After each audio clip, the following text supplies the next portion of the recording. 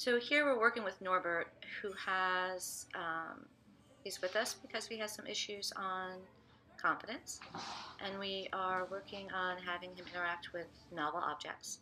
Um, we're allowing him to make choices by empowering his ability to choose to do things.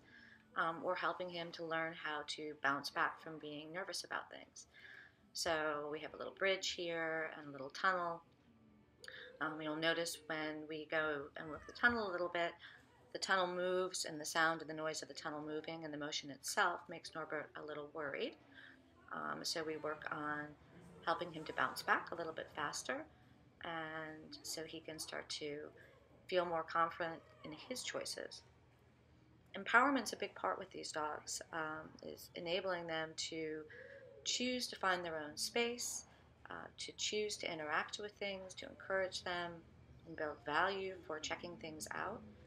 Um, builds their ability to bounce back from being startled or being unsure about things in the environment. Um, this helps with resource guarding because most often dogs that guard things are not confident dogs.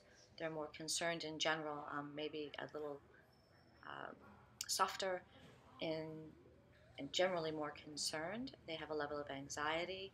And if we can help to teach them coping skills, then their confidence improves overall, and that helps with their resilience when it comes to guarding objects. So he's doing really great with this. Uh, we had started the other night, and unfortunately, my video um, didn't catch our first encounters, which was just actually approaching the objects. But now Norbert's actually coming back in. He's engaging, even though that tunnel moved. He's coming back. So we're really happy with how he's doing with this, and we're going to continue to work on exposing him to novel environments, novel things, novel objects, um, new places, and help him to start to feel great about himself